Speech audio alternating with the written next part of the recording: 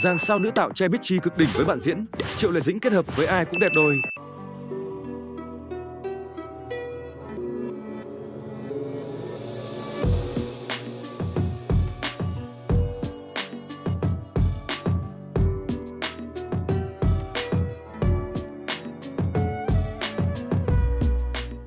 Triệu Lộ Tư như một tài năng thiên phú,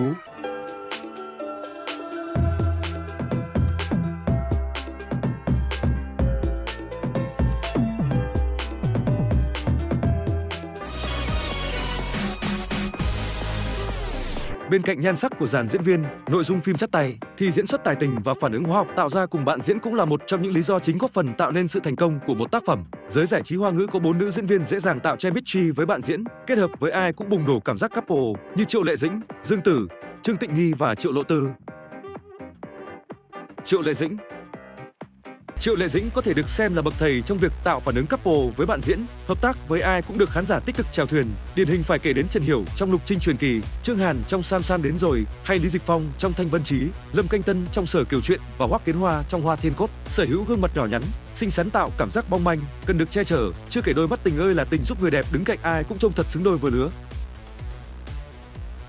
Dương Tử không những sở hữu diễn xuất tài tình mà khả năng tạo phản ứng hóa học với bạn diễn của Dương Tử cũng rất ấn tượng. Dẫu phim kết thúc đã lâu nhưng dương mà các cặp đôi để lại thì mãi còn đỏ. Và để nhắc đến những người tình màn ảnh kinh điển của nàng Tiểu Hoa 9X là phải nhắc đến Tần Tuấn Kiệt, Nhậm Gia Luân, Đặng Luân hay Lý Hiện.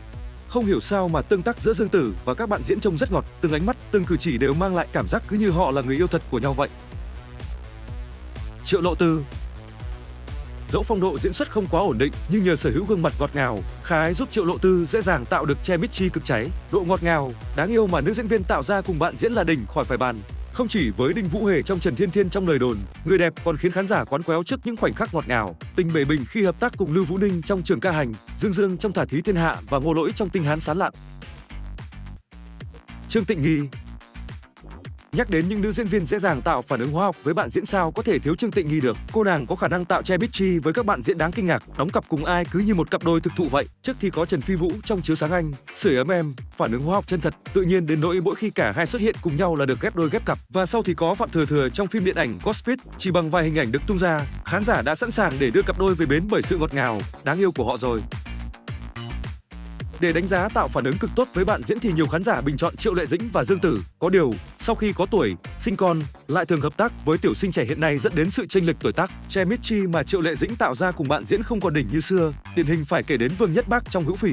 Hãy cùng theo dõi bay chiến dịch chống ế để ngắm nhìn những khoảnh khắc ấn tượng của dàn sao hoa ngữ nhé.